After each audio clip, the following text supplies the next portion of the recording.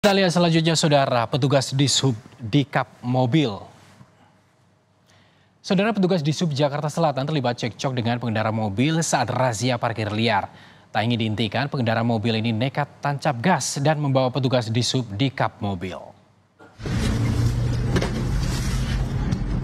Ini bukanlah bagian adegan dalam film aksi atau laga. Petugas di Sub Jakarta Selatan ini ternyata memang tak sengaja terbawa di kap mobil dari Setiabudi hingga Menteng.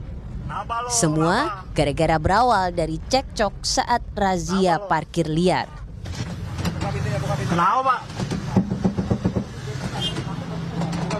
Kenapa, Pak? Awalnya petugas di sub ini menghampiri pengendara mobil karena menduga sopir taksi daring ini mengacungkan jari tengah ke arah petugas. Namun pengemudi ini menolak dihentikan dan justru nekat tancap gas sambil membawa petugas di sub ke kap mesin. Ketika dia bolak-balik mundar balik empat kali gitu, dia sambil merekam video sambil maaf mengacungkan jari tengah. Maksudnya petugas tuh berinisiatif untuk menanyakan, untuk mengklarifikasi maksud dan tujuan apa merekam dan mengacungkan jari tengah. Tapi ya saya dekati, beliau langsung tancap gas sehingga saya dengan refleks megang wiper saya loncat ke kendaraan tersebut saya megang Kenapa lo? Pengendara mobil ini sempat menabrak pengendara motor. Warga pun berusaha mengejar dan akhirnya pengendara dapat dihentikan di Menteng Jakarta Pusat dan diamankan ke Polsek Setiabudi.